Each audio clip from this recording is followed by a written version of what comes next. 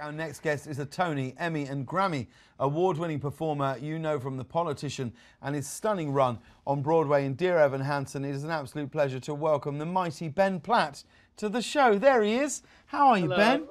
I'm good. It's nice to see your face. It's always nice to see your face. You have Likewise. a kind and welcoming face, which I think lifts the days of many. Do you hear that a lot?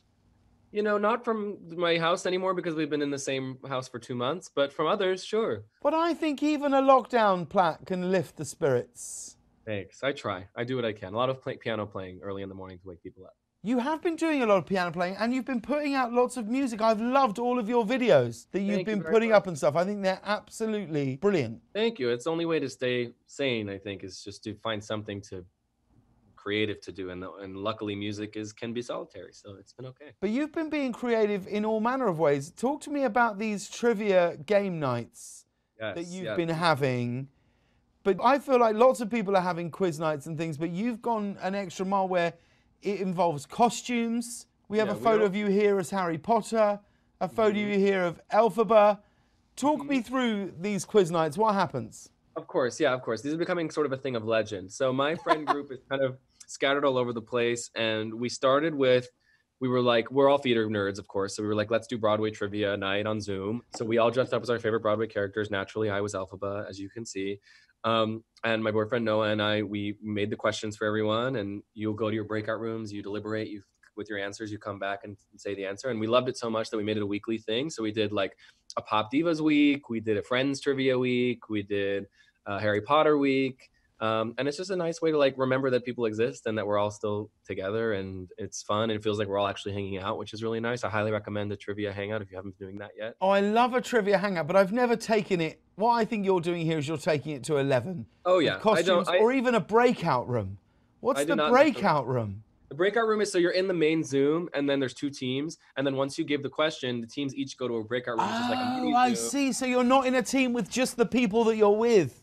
Exactly. Yeah, I you can get it. deliberate in private and then you come back and give your answer. Exactly. Oh, I like this. hmm It's good. It's really really fun. This is my sort of trivia quiz. Would you? Should I give you some of them? Uh, what now? A question? Yeah, I mean, Yeah, I, I'll I take all a- my trivia. Uh, go on then. Give me a. I'll take a friend's trivia. Go on. Okay. How about this? What is Chandler's father's drag name? Is it A, Mimi I'm First? Is it B, Blair St. Clair? Is it C, Helena Handbasket? Or D, Ruby Red? Okay, these are deep cuts. I told you I'm not messing around. I'm gonna go with C. That is correct. Oh, look at this. Well done. Very impressive. This is Very great. impressive. See, it is Great. fun. That's really cheered me up. Now, I want to talk to you about this new single you have that you're performing on the show tonight, and you're Yes. performing it with Finneas, who we love here at the Late Late Show. This is your first time working together. Tell me about how the song happened and how it came about. Certainly. So yeah, I wrote the song uh, in the first couple weeks of quarantine over Zoom with my collaborator Michael Pollack. I really wanted to write a song that could bring some comfort for the time and sort of applied to what was going on, but that could live beyond this because, as we all know, God willing, this is very temporary. Um, and so uh, it was my first time sort of trying the Zoom writing thing, and thankfully it went really well, and we love what we got. And I was trying to think of who could I send this song to, who could produce it alone in their home, and Finneas not only can play every instrument and under the sun and create beautiful sounds alone in his studio, but he also has such like emotional intelligence. Like Yeah. he really knows how to not overcrowd the story of the song. And so he was my dream choice. And I've, we've always kind of skirted around the idea of working together. We were going to maybe like try to write a musical together. Lots of different ideas we've had. And so I thought this would be a great first uh, first try. So I sent him the song. And he right away called me and said, "I love it. I totally hear it." And uh, three days later, he had a beautiful produced version ready for me.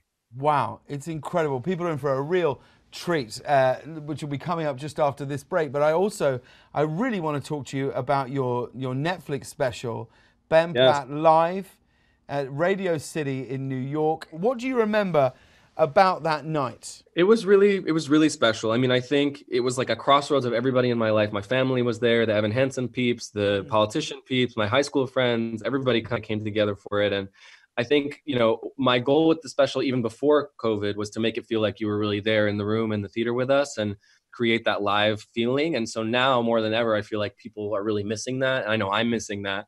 And so I think it's a really nice little like 90 minute escape where you can really feel like you're at a show, hopefully, and forget what's going on for a little bit and, and Now, was- you're so used to performing in character.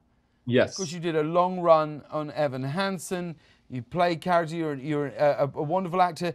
Did you have to sort of rewire yourself to be like, oh, well, this is who I am when I'm myself singing songs? Absolutely, yes. I think it was really nice that I got to do a bit of a tour before we got to Radio City because I had a chance to get used to like, you know, dancing like I dance, you know, when I'm out with my friends and letting myself do that on stage or like telling the stories I want to tell or like how much do I want to divulge and like how do I want to sing these songs? Do I have to match the record or can I sing them the way I'm feeling them in the day? And it was a new kind of freedom that I think was super scary at first because it's I'm so used to like you said like fitting into like a cog of a greater machine, but in this case it was like, you know, I was kind of the creative head, so it was really uh, scary at first. But by the time we got to Radio City, I felt like I had a handle on like what does it mean when it's me performing, and I'm really happy that there's like a beautiful home video of that now.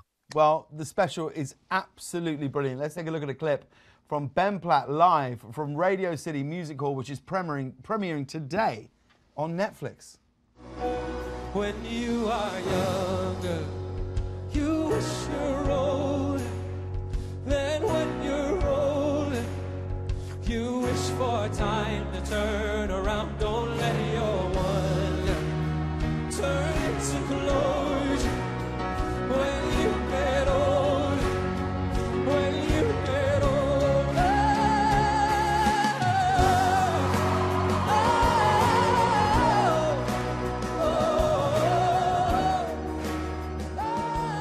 What a superstar. And we've got a performance from Ben Platt right after this break. Come on back, everybody.